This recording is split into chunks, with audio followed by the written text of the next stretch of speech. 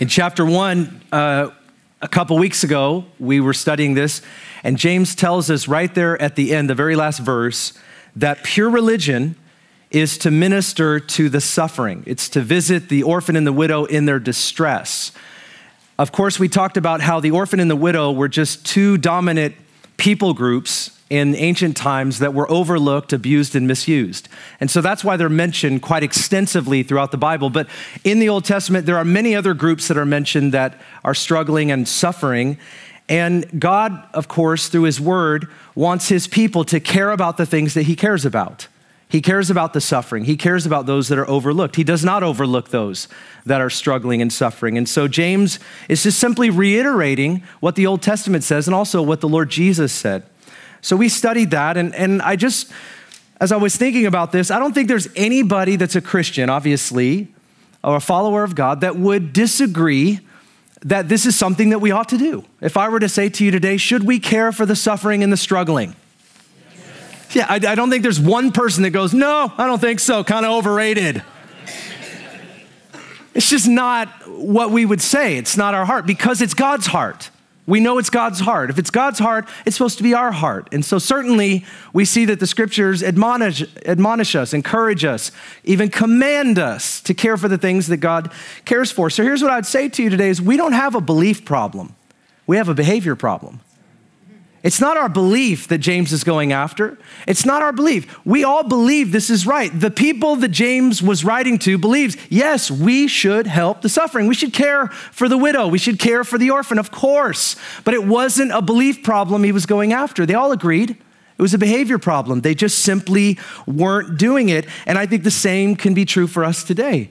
And if we're honest today, we would probably admit that we don't always seek to and we don't always stop to help those that are in need.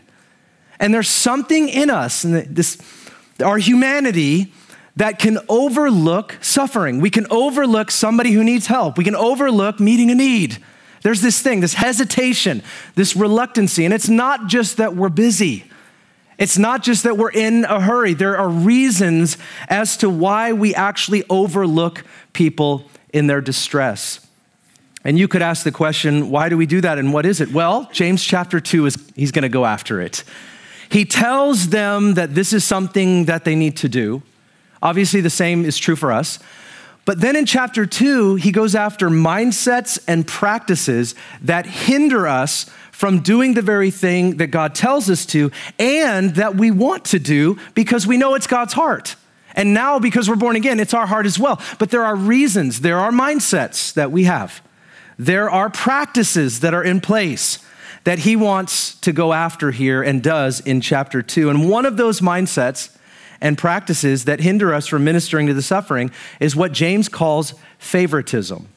That's what we're going to look at today in these verses. And I would tell you that it's really important to go through books of the Bible. I do want to do topical series at times. We need to hit cultural issues. And if you just go through books of the Bible, you can't hit everything. But the reason, one of the main reasons we go through books of the Bible is you have to study passages that you would never bring up. When you cherry pick verses, you just simply will never get to some of these things. And so it's important for us. I would not have chosen this maybe for a cultural issue, maybe for a political issue. And that's the problem, isn't it? Sometimes we look up verses and we study scripture for a reason, so we already have a filter on our eyes when we start to read it. And that can be, uh, that can be a problem. So I hope today, as we study and read this, that we just sim- simply go after it contextually and learn what God intends for us to learn. So, with that said, James chapter 2 and verse 1, and this is how it reads. My brethren, do not hold your faith in our glorious Lord Jesus Christ with an attitude of personal favoritism. For if a man comes into your assembly with a gold ring and dressed in fine clothes, and there also comes in a poor man in dirty clothes, and you pay special attention to the one who is wearing the fine clothes, and say, You sit here in a good place, and you say to the poor man, You stand over there or just sit by my footstool. This is, I guess it's a hypothetical, but that's kind of wild. Have you not made distinctions among yourselves and become judges with evil motives? Listen, my beloved brethren, did not God choose the poor of this world to be rich in faith and heirs of the kingdom, which he promised to those who love him? But you have dishonored the poor man. Is it not the rich who oppress you and personally drag you into court? Do they not blaspheme the fair name by which you have been called? If, however, you are fulfilling the royal law according to the scripture, you shall love your neighbor as yourself, you are doing well. But if you show partiality, and just to be clear, partiality is the same word, favoritism. So they're synonymous terms. If you show favoritism or partiality, you are committing sin and are convicted by the law as transgressors. For whoever keeps the whole law and yet stumbles in one point, he has become guilty of all.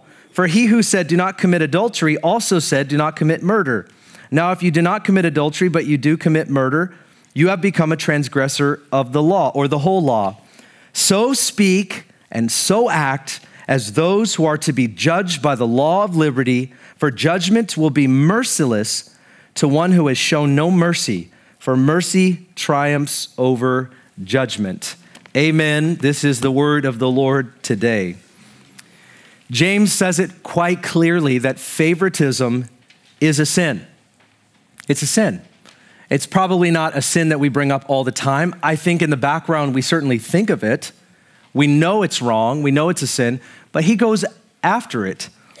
I think part of the problem, maybe to translate this to our culture is that we don't often use the word favoritism.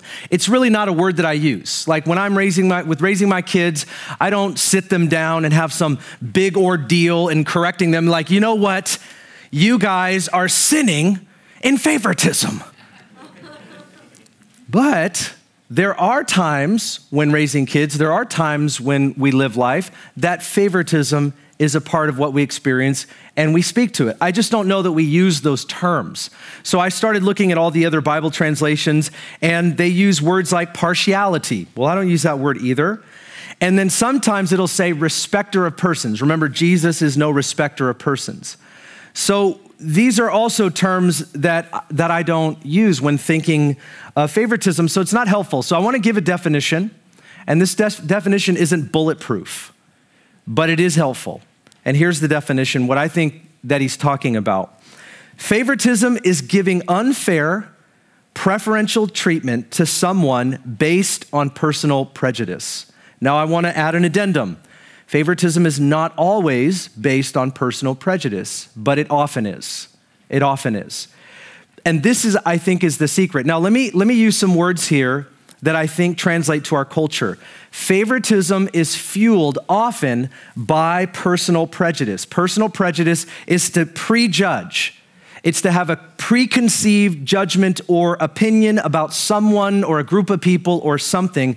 And if we were to look at biblical words, we would look at Matthew chapter 7. This is where Jesus says, Do not judge lest you be judged. He's talking about looking down on others or prejudging people with a sense of finality. So he's not saying don't discern. He's not saying you can't have judgments. He's talking about the way and the purpose for which we would judge others, where it's not our place to do so. There are judgments we're not supposed to make, there are judgments that we're supposed to make. So if you look at a biblical word for like prejudice, it would be, it would be similar to the word judgment. Once again, these words don't always make it to our dinner table. So the word prejudice uh, means to be uh, pre, have a preconceived judgment about someone or something. Prejudice leads to discrimination. That's a word that we use. We use the word discrimination a lot. Prejudice leads to discrimination. Discrimination is unfair and unequal treatment, which is thoroughly condemned in the Bible. Uh, we see this all over the place. There are a lot of different words that would encapsulate what we're talking about when we use the word discrimination, but there are translations when looking at James chapter 2 that actually just flat out use the word discriminate. Don't discriminate against some as you're elevating others. So, this is what we could ask. I mean, we could say, well, let me explain it this way favoritism is like an umbrella term that includes prejudice and also discrimination. It assumes there's a prejudice already. And here's what kind of happens, okay? Because people don't obviously think they're discriminating against people. But what James is presenting here is this idea when you elevate others, in an unfair and unequal way, you automatically discriminate people who deserve equality. And this is why some people will say, Well, I didn't say anything about that person and I didn't do anything to that person. But where people deserve equality, if we, for whatever reason, in an unfair way, are lifting up some, we are automatically committing discrimination against others. And we can be very blind to the fact that this goes on all, all of the time. Let me ask you a question real quickly Have you ever been discriminated against? Raise your hand. Okay, it should be every hand, guys. Come on should be every hand. I believe everyone has been discriminated against. Some of us have been discriminated against more than the rest, for sure. For sure. There's all kinds of reasons that we get discriminated against. It could be our race, it could be our ethnicity, our age, our gender, our weight. It could be our clothes. That's the case study that he brings up here in James 2. Could be our background, where we come from. It could be our beliefs. It could be our politics. It could be a number of things. It could be the rumors that have been spread about us that are, that are categorically untrue. Come on, somebody. We can be discriminated against for things that are absolutely not even true of us. Now, to park right there for a second, there are reasons to treat people differently at times. The Bible would call that honor. So it's not discrimination if I treat my wife differently than I treat other women. Obviously, it's the relationship that I have with her. The Bible says that we are called to honor our parents, that we're called to honor leadership, that we're called to honor those in authority. So, in a sense, we don't give them unfair, unequal treatment, but we give them honor. So, there is a sense in which we give honor to people. But when we go beyond that with an evil motive, as James says, this is where favoritism actually brings destruction in our world because it robs the community that we're a part of of biblical equality. And God sees everyone the same. God loves everyone the same. When we come into Christ, we're sons and we're daughters of God. He loves us just the same and He treats us just the same. So the sin of favoritism is, uh, is evil from top to bottom, and it comes with these motives, these opinions. And that's what James is, is getting at. Let, let me give you an illustration. This is just, just a silly illustration, but maybe you'll laugh and say that that was just silly. So, for that reason, I'll, I'll share it. Okay, let's say you go, you're at the airport in 1980, because I'm going to use the dollar term, and now I think things cost $20, but don't ruin my illustration. So let's say you're at the airport and you want to get a Coke. So you go up to the vending machine and there's a person in front of you, and that person pulls out a nice crisp dollar bill, all right, when Cokes used to cost a buck. They pull out a crisp dollar bill and they, and they send it through the vending machine, and it goes in there, and out pops this ice cold Coca Cola, and they crack it right in front of you, and they drink just like they do on the commercials. Ah! and the polar bear jumps out of somewhere, and everybody has a dance party, right? It's amazing. And you're so excited. You're like, man, I can't wait to get my ice cold polar ice Coke. And so you step up and you pull out your crinkled, damaged, slightly stepped on, this one actually has tape in it. You pull out your, your dollar, and with a little bit of faith, you send that thing through the vending machine. And what happens? Comes back out.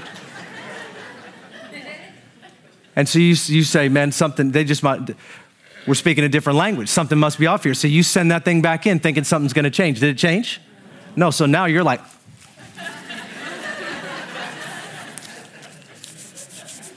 you send it. What does it do?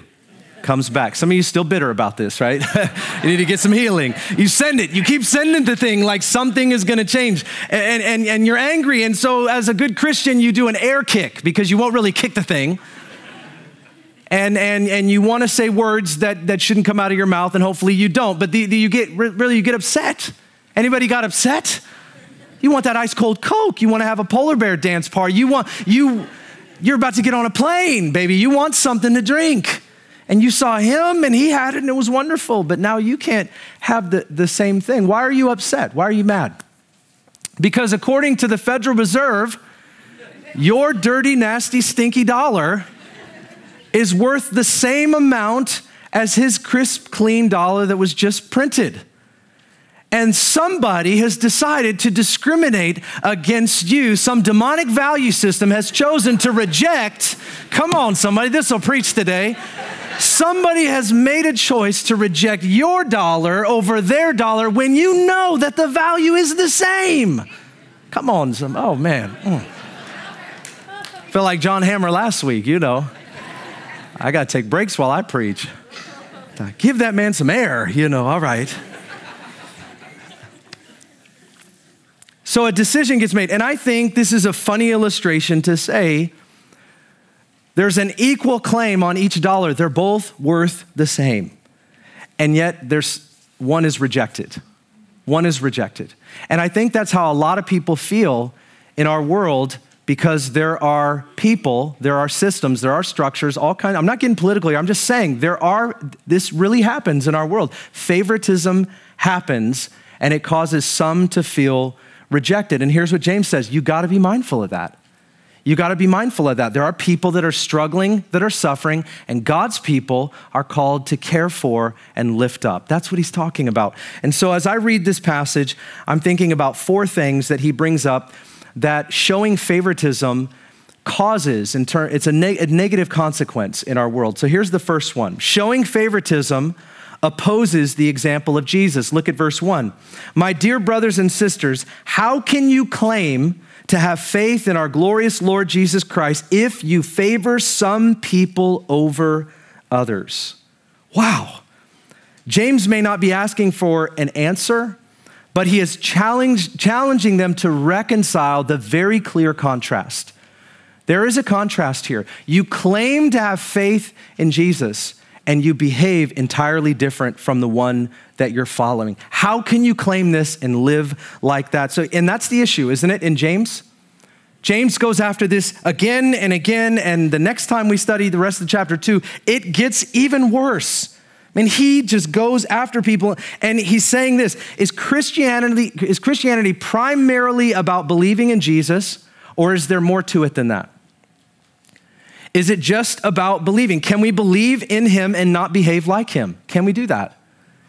See, this is what James is talking about. Can you believe in and say you follow someone, but you don't behave like them, or you're not even attempting to? There's something callous in your heart, and that's why he's talking about it. Like I told you, we all agree, care for the suffering, all that, but not all do. That's, that's, what, he's, that's what he's after.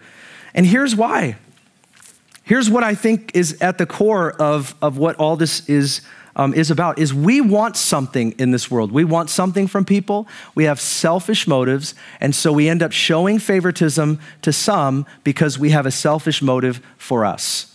We want something from people. Jesus was entirely different. He came to give to people, not to take from them. This is the contrast of his example over so many, uh, so many of us, or so many people in the world. That's sin. That's what sin has, has done. Scripture says about Jesus, he was no respecter of persons, which means he treated people fairly and equally. He always did this.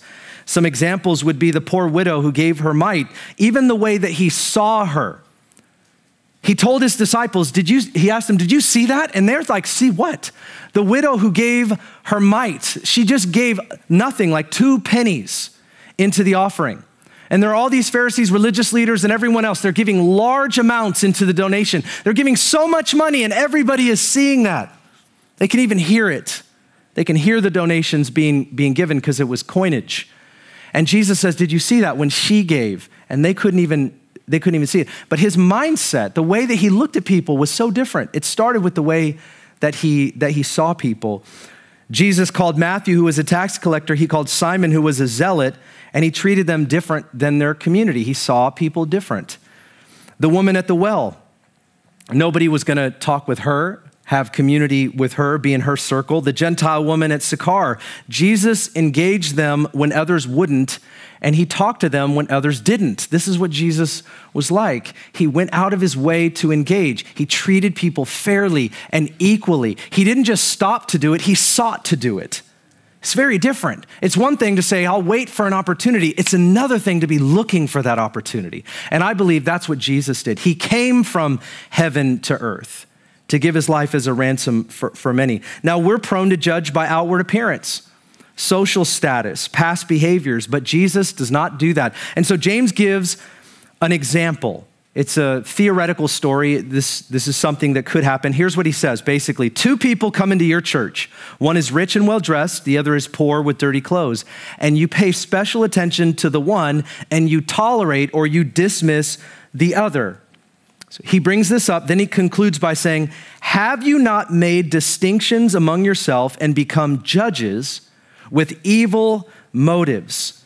When we show favoritism, it carries an evil motive for sure. That's what James is talking about. For example, if we were to show favoritism toward the rich and famous, that's the case study that he gives. If we show favoritism towards the rich and famous, it's probably because we want to be rich and famous.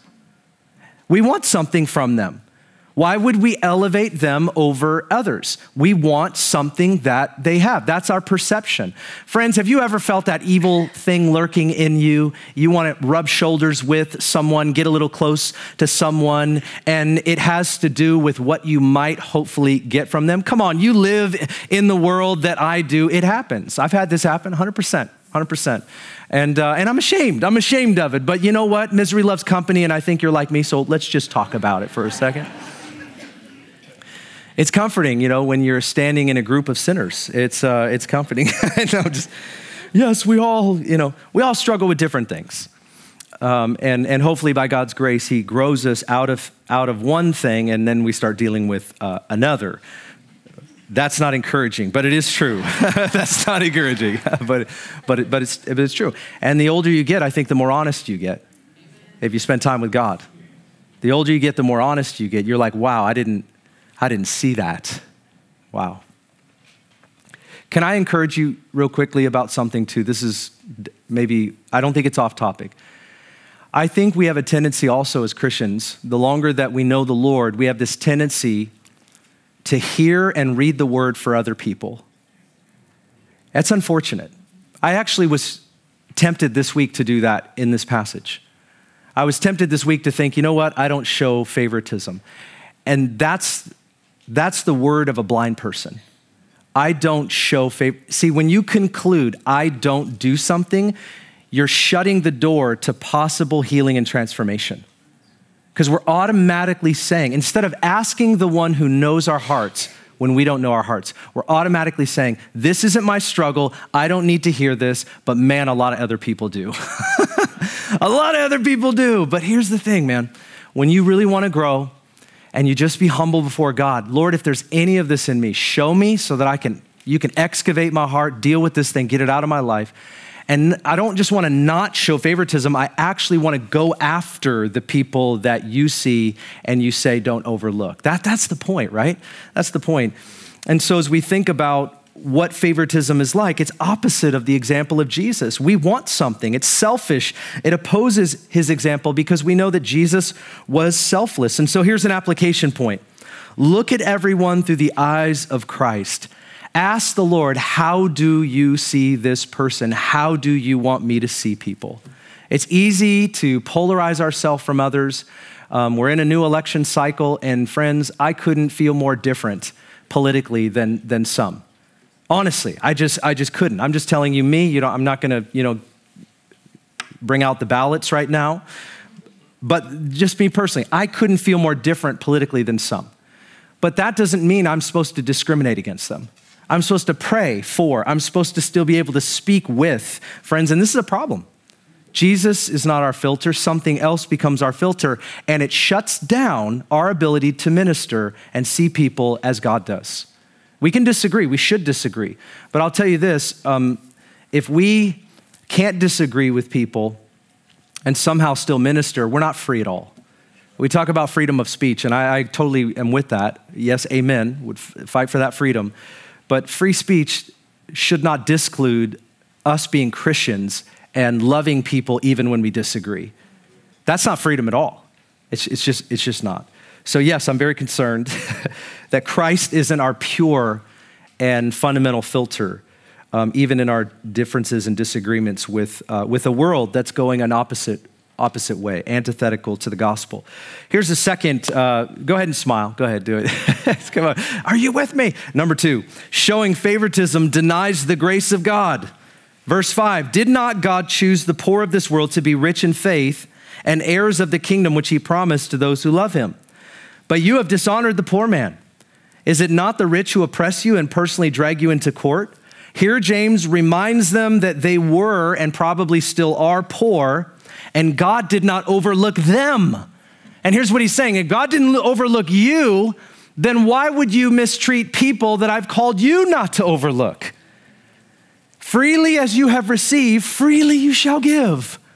Think about other people are in, are in the same disposition that you were in. In those days, the rich exploited the poor by influencing the courts, and they did so for their own gain. They made themselves richer, and nothing has changed. Nothing has changed today. Wicked people build systems to control, control exploit, use, abuse, and, and quite frankly, to play God. People want control for these, for these reasons. Favoritism upholds such type of wickedness. Instead of ministering to those who suffer, and see those who are unseen. It, it only cares for this top tier type of person. And, and here's what I would tell you is I, I, am not saying we don't minister to people who are rich in this, in, in, in this age. The grace of God doesn't, uh, doesn't just reach up, it doesn't just reach down, it reaches across. And whomever will reach back, those are the ones that God ministers to. It isn't about money. It's never about money. It's about grace.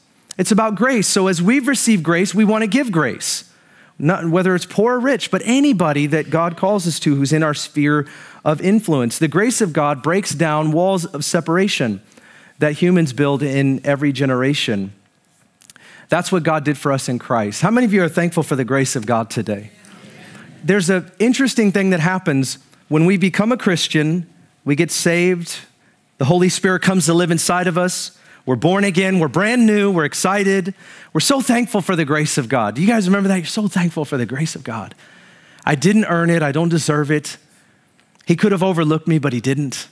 It feels like God chased you down and didn't take no for an answer. Isn't that how it feels? I mean, I'm certainly not a Calvinist, but I can understand how some people get there because it just feels like God didn't take no for an answer. Like, man, he kept pursuing me. He just kept going after me. And then finally, I relented. I, ah, yes, Lord. And, and the longer that I know the Lord, the more I understand grace, the harder it is to comprehend. It's like when David said, What is man that you are mindful of him? What is man? What are we, anyways, that you would care so much? You start to feel that way. There are moments that you have with the Lord where you really begin to think, like, wow, God could have just scrapped us. I know that's not encouraging either today. he could have. He could have just done it over and done it over again, but he didn't. He loves you, he loves me. And this is grace. It's nothing that I've done, it's nothing that you've done. We could never earn it. There's, there's no amount of performance that we can give to God. Our pitiful performance is nothing. Now, let me encourage you a little more. The Bible says in Romans, Paul says that our righteousness is filthy rags you ever seen a filthy rag? You get done cleaning your car after far too long, and you look at that rag and you have to make a decision should I wash this or just throw it away? Let's be honest, some of us, we throw it away. Like, I'm not cleaning that. Filthy rags. On your best day, the best moment of your best day in terms of righteousness, in comparison to Jesus, it's filthy. But praise be to God that he didn't look at our performance. It was our putting faith into Jesus. It's his grace, what he did for us. Man, that's just, just undo us. Come on, Good Friday's coming. Make plans. Make plans. Should just undo us. And, and sometimes it doesn't, if we're honest. Sometimes it doesn't. So from the day that we come to Christ and we're feeling all that gratitude, it seems like if we're not careful, the further away that we get from that day, the more we forget the grace of God. And here's what happens when you forget the grace of God. When you forget the grace of God, you forget to give the grace of God. When you forget the grace of God, you forget to give the, the grace of God. And that's what happened to the Pharisees. Isn't that what they embodied? I know we pick on them, but Jesus confronted them again and again because even though they had zeal for God, it wasn't in keeping with the heart of God. That's for sure. In, in 1 Corinthians, Paul says this as we think about the grace of God and his calling in our life. He said, verse 26, For consider your calling, brethren, that there were not many wise according to the flesh, not many mighty, not many noble. I, I would feel a certain way about that. you ever read this and you're thinking, man, he's, he's, he's saying that about me. you're not wise, you're not noble, you're not mighty. But God has chosen the foolish things of the world to shame the wise. And God has chosen the weak things of the world to shame the things which are strong. And the base things of the world and the despised God has chosen, the things that are not, so that he may nullify the things that are, so that no man may boast before God. But by his doing, you are in Christ Jesus, who became to us wisdom from God and righteousness and sanctification and redemption. Look at what he's saying. All of the stuff that we have is from God because of Jesus.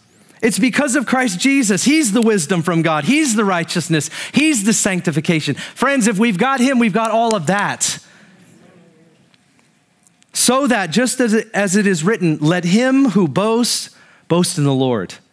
We have no boast but to boast in the Lord. That's our boast not how good we are. And when we think like that, when we remember that our boast is in God, it is not that difficult to give the same grace to other people because we want to. We know who we were, we don't forget where we came from. Maybe it is that James is reminding people where they came from, and we tend to forget where we come from. God help us. Help us to remember the grace. Help us to give the grace freely as it's been freely given. The third point um, is this showing favoritism ignores the word of God. Verse 8 If, however, you are fulfilling the royal law according to the scripture, you shall love your neighbor as yourself. You are doing well, but if you show partiality or favoritism, you are committing sin, and you are convicted by the law as transgressors. For whoever keeps the whole law and yet stumbles in one point, he has become guilty of all. For he who said, Do not commit adultery, also said, Do not commit murder. I mean, he's just going for it here, isn't he? this is a reiteration of the Sermon on the Mount. Now, if you do not commit adultery, but do commit murder, you have become a transgressor of the law. James appealed to the church based on God's word from Old Testament uh, to New Testament. We find love your neighbor as yourself. That's Leviticus chapter 19, 8, verse 18. And then, of course, Jesus' question about it, and that was his response in Luke chapter 10 and verse 25. He uses this term, it's a strange term. He says, the royal law. Follow the royal law. What does that mean? James is the only one that uses it. Nobody else uses this terminology. So it's kind of weird. You can skip past it. He uses two terms. One is the royal law, and the other is the law of liberty. The royal law, I believe, means the king's law, and here's what I think it is it's the Old Testament law summarized and reiterated in the teaching of Jesus. The royal law is the king's law. Well, there's only one king, and that's Jesus. So Jesus actually repeats, reiterates, and summarizes Old Testament law that translates under the new covenant. That's what it's saying. It's also, if you were to take Exodus chapter 20, the Ten Commandments, several of them focus on loving God, and the rest focus on loving others, right? So it's a summary of the law. This is the king's law, the royal law. I think it's kind of cool. He makes up his own words.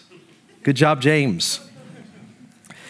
Then he gives an example. He's reminding people of, of the Bible. This is what the Bible says. Listen, if I can't give you an example, rich man, poor man, here's what happens. And maybe people say, well, that's not me. Then he just goes, well, what, here's what the Bible says love your neighbor as yourself. And clearly, this scripture keeps coming up. So, loving our neighbor is a problem. It's, it's a problem that we have, and maybe it's not so clear. So, in Luke chapter 10, Jesus is asked by a lawyer a question, and here's what it says A lawyer stood up and put Jesus to the test, saying, Teacher, what shall I do to inherit eternal life? And he said to him, What is written in the law? How does it read to you? And he answered, You shall love the Lord your God with all your heart, and your soul, your strength, and your mind, and your neighbor as yourself. Those are two different, different commands, and he brings them together. And he said to him, You have answered correctly. Do this, and you will live. But watch this. Wishing to justify himself, the lawyer said, And who is my neighbor? And that's the question, isn't it? Who is my neighbor? And Jesus says, and he gives them this story, and the conclusion of that story is your neighbor is anyone and everyone you encounter, especially those that are suffering that we tend to overlook. That's the story. That's the story that Jesus, that Jesus gives in that passage. Treating everyone fairly and loving everyone without prejudice will literally keep us from all kinds of sin. Because it is in doing so, as we treat people unfairly and we show favoritism, we don't realize it, but we actually are sinning against a lot of other people who we are overlooking. I want you to see this. James is actually getting at the core of the problem. One of the reasons we can say, Yes, I know that we're supposed to care for the widow and the orphan but we don't do it. One of the reasons is because we're too busy focusing on people and things that we ought not focus on. And it's creating all kinds of sin around us that we are blind to and we do not see. That's why the ad- admonition of Scripture, the commands of Scripture are so important, even though we would say, yeah, of course. Why would you even need to say that? The reason is, is because we have a tendency not to do those things.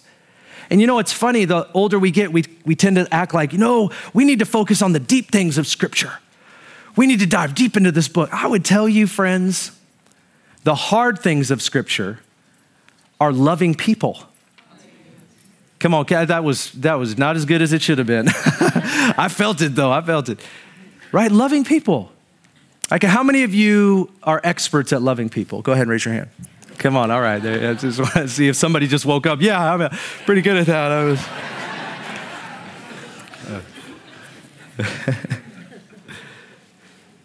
we tend to avoid um, not just harder passages, but harder parts. I will admit to you, yeah, I'm challenged every season of my life to love someone. I'm challenged. And it isn't because I'm the lovable, lovely, and they're not. It's because I have issues just like they do. I have issues just like they do. This was a glaring fault of the Pharisees, and Jesus confronted them. Read this, I want to read this to you Matthew 23 23. Jesus, of course, speaks to this many times. James is. He says, Woe to you, scribes and Pharisees, you hypocrites, for you tithe mint and dill and cumin, but you have neglected the weightier provisions of the law justice, mercy, that's towards other people, faithfulness, but these are the things you should have done without neglecting the others. You should have tithed all your stuff. That's great. But these are the weightier matters you've neglected for the things that aren't as important. You blind guides who strain out a gnat and swallow a camel. That's a weird comment, isn't it? I was like, I'm going to use that in parenting. Like, talk to your kids. You, you strain out a gnat and swallow a camel. your four year old would be like, they have a stuffed animal that's a camel. It'll change their whole experience, by the way.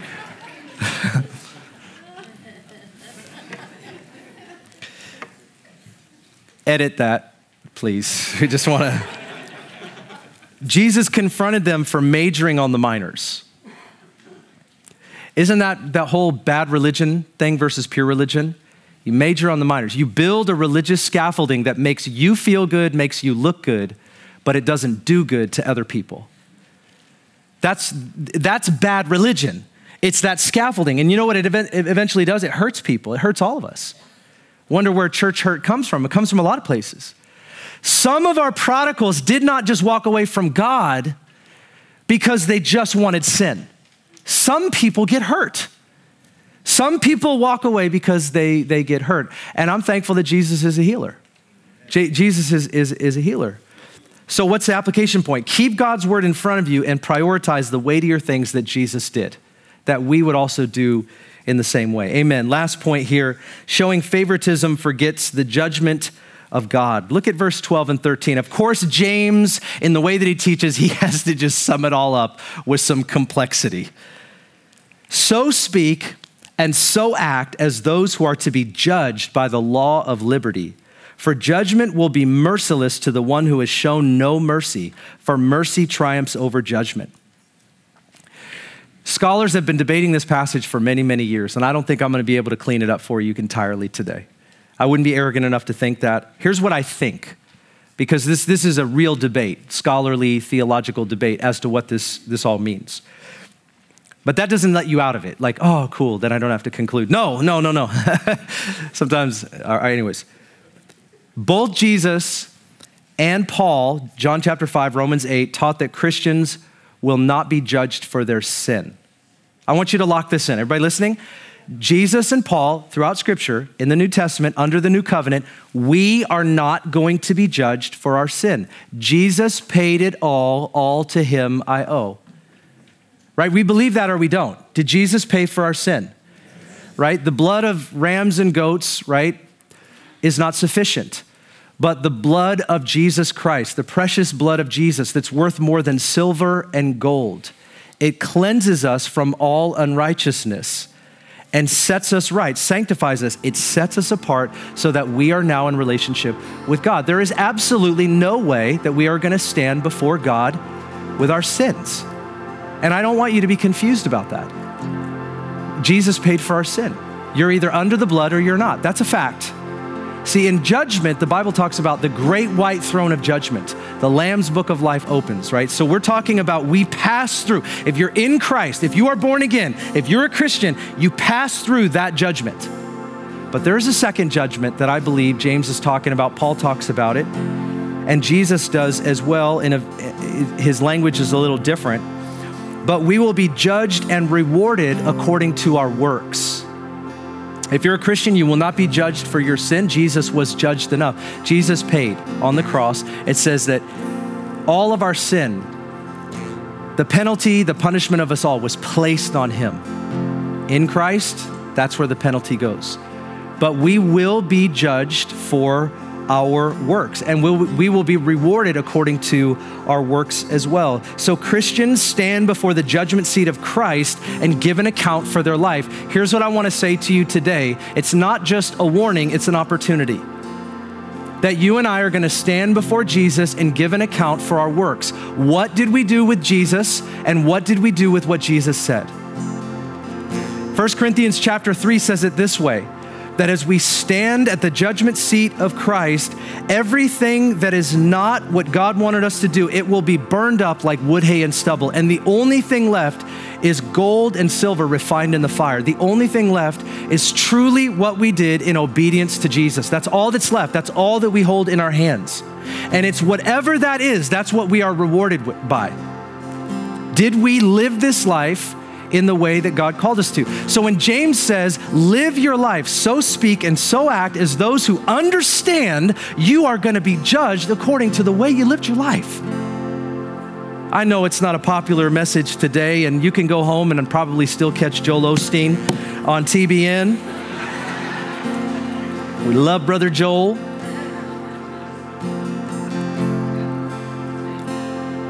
But I'd be wrong and we would be wrong to not tell each other at times that we're going to be judged for what we did with what Jesus said. Friends, you don't escape it. You won't escape it. And this is not just to be fearful. I know we preach judgment to be fearful, but let me tell you something else is that we now have an opportunity to live like Jesus, to love like Jesus, to speak like Jesus, to minister like Jesus. And if we do that, we get rewarded by Jesus. James doesn't say that the law, so speaks, so acts, as those who know they're going to be judged according to the law. He says the law of liberty, the law that sets you free so that you can serve God. The law that's enabled you and empowered you, the law of freedom, empowered by the Spirit of God, etched now on your hearts that you and I can live our life and serve like Jesus in the world around us. It's very different than the fear that we're often so accustomed to. James isn't just trying to make people afraid. Oh, I better be scared. I'm going to kill me. God's going to strike me.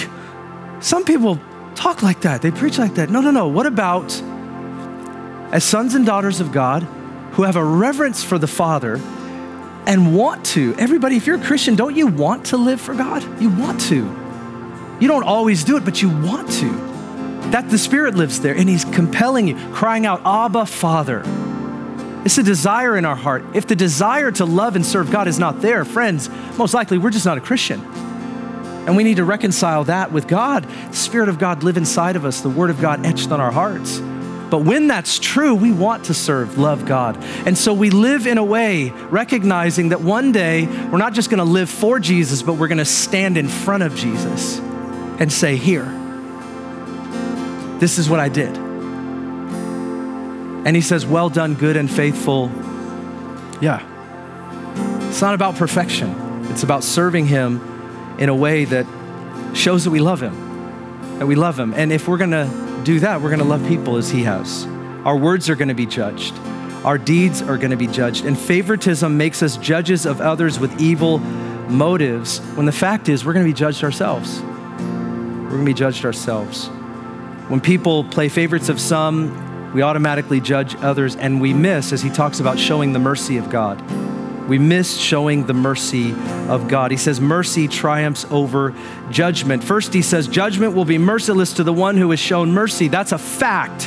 That's not just fear, it's a fact. Jesus said, Blessed are the merciful, for they will be shown mercy. And so it's a reiteration of Matthew chapter 5 and the Sermon on the Mount, the Beatitudes. He's saying it the opposite way.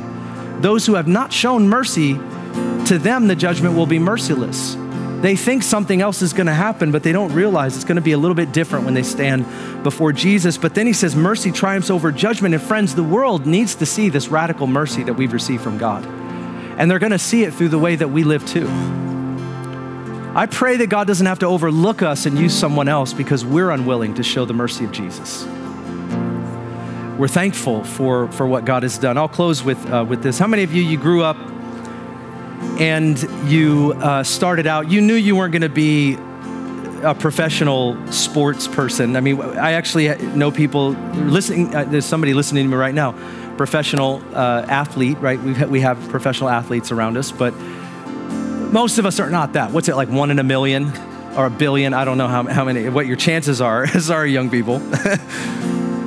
you killed my dreams. Um, but you, you start out and you want to play sports, and I wanted to play basketball.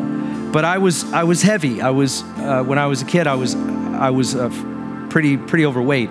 And so, like many people, I was not chosen or I was chosen last. Anybody experience this? Yeah, and what happens when that's you, uh, this wasn't just once or twice. Like, Ben, why'd you bring up the once or twice? It was actually my whole grade school experience. And some of you have experienced that, but we've all experienced it to a degree. And so you're standing there, there's just some, nothing like standing there waiting to be chosen, and you're, and you're hoping that they choose you like, okay, maybe they won't choose me first, but what about second? I'll take a solid third, right?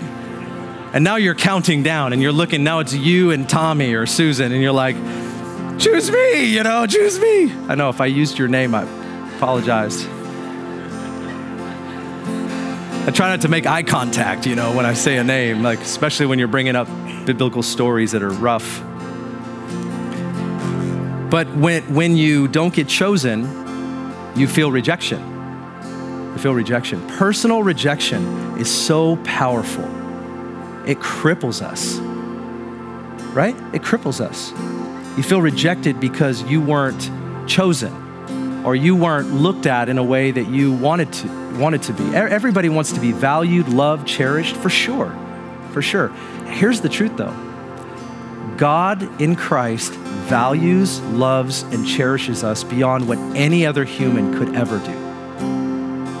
That's that the gospel of Jesus is that in Christ, God has given us a type of love that is indescribable. It's without comprehension. This love, this kind of love, this kind of mercy that he, that he shows, it breaks the power of all personal rejection. Some of us have experienced that personal rejection, but here's what James is talking about. Don't, don't play life the same way that some of us play sports, where we choose the ones that we want on our team because we want to win, because we want to be someone and we want to be somewhere and we want to have something. I'll tell you, a lot of people play the game of life that way. The people that they talk to, the people that they minister to, the people that they love, the people that they favor are the ones that help them get the edge. And it's sin. And our world might be that way, but we can't be that way. Our world might think that's normal, but to the Christian, that's abnormal. That is not our way. That is not who we are. And so we have Jesus as our example, who is no respecter of persons. And he ministers to us and he wants to minister through us. And those that show mercy towards other people release the virtue of Jesus. It's not virtue signaling like we have today. It's real virtue, the true virtue of Christ. It's not fake, it's not a show. It's not I like and love and favor someone so that everyone online will know that I care. It's actual stopping and seeking to love people and to lift them up. May God help us to do this. It will literally change our world.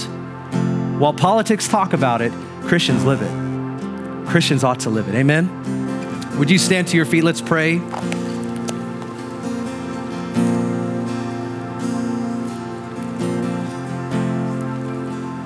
I want to um, just pray that God would help us with this. But would you would you mind just bow your heads as we pray in the presence of God?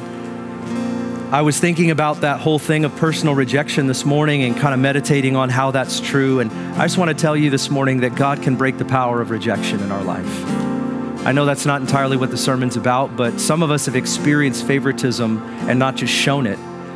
And it's affected us to where we feel personal rejection. We feel the pain of it and maybe we're living under that label and we feel not seen, not loved, not cared for, not known.